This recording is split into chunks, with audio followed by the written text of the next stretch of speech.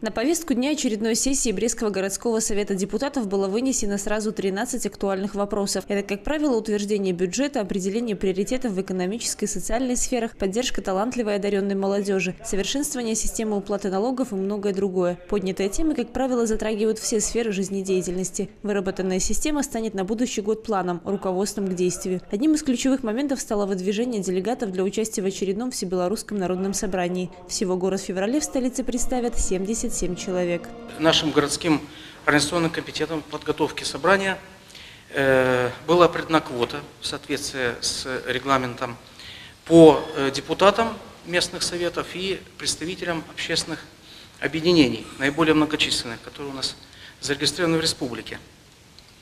Э, также сегодня на сессии городского совета депутатов мы довели квоту от города Бреста, от нашего городского депутатского корпуса поедет 34 э, делегата, это депутаты городского совета и часть депутатов, 8 человек от областного совета, которые избраны были по округам города Брест. В ближайшее время на основании предложений, собранных общественными приемными, будут определены волнующие людей темы, которые делегаты смогут озвучить на собрании. В списке предложенных кандидатур Сергей Киселевич, депутат Брестского городского совета депутатов. Он уверен, что одной из приоритетных позиций, волнующих жителей Брестской области, станет комплексная поддержка Института семьи. Предложение касается всех сфер нашей жизни, не только Конституции, но и вообще э, обустройства нашего государства, э, в каком направлении мы будем двигаться, как мы будем двигаться. Э, эти предложения учитывают все, скажем так, мнения, которые на сегодняшний день были собраны в общественных приемных. И, соответственно, я так думаю, что они найдут отражение в тех решениях, которые будут приняты на нашем всебелорусском собрании. Продолжился разговор уже в формате онлайн. На связь с депутатским корпусом вышло руководство города и представители администрации областного центра. В рамках итоговой дискуссии были подведены итоги социально-экономического развития города в уходящем году. Как отметил мэр Александр Рогачук, показатели достойны, однако по определенным позициям работу все же нужно будет усовершенствовать.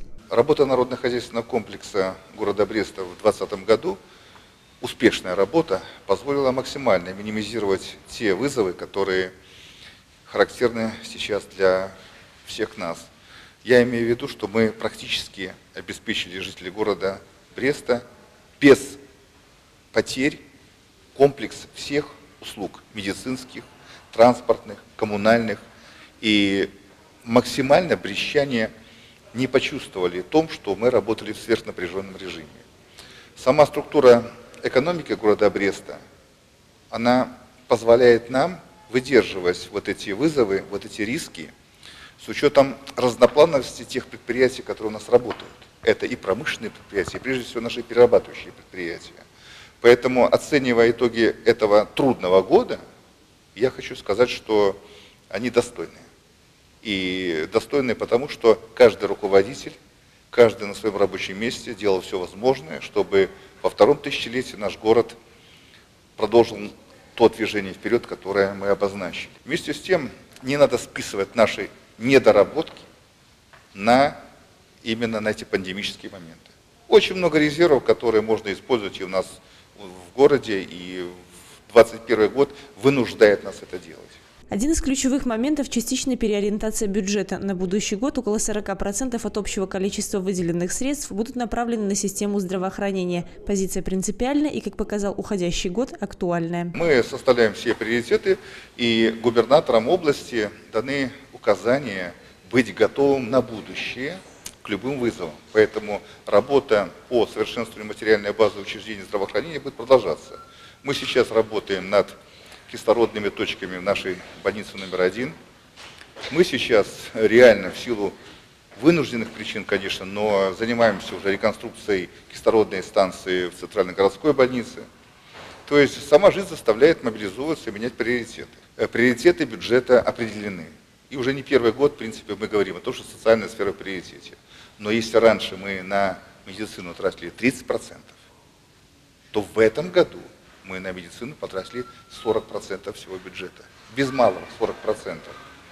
Это то, что, в принципе, невозможно было предугадать. Теперь-то мы уже знаем, мы более вооружены на 2021 год. Говорить о том, как будет развиваться экономический потенциал в 2021 пока рано. Однако в реализацию плановых показателей нужно будет вложить все силы и ресурсы, уверен градоначальник. Мы не откажемся никогда от набережной. Более того, наши амбициозные планы по воссоединению набережной с крепостью, наверное, уже в следующем году приобретут конкретные очертания. Мы не откажемся от асфальтирования дорог, и мы не откажемся от тех работ по благоустройству города, которые будем делать. Это абсолютно очевидно. Темпы жилищного строительства не снижаются. Новый микрорайон по улице Рябцева уже визуально к концу следующего года будет представлять микрорайон. Э, темпы строительства жилья для многодетных семей также не снижаются.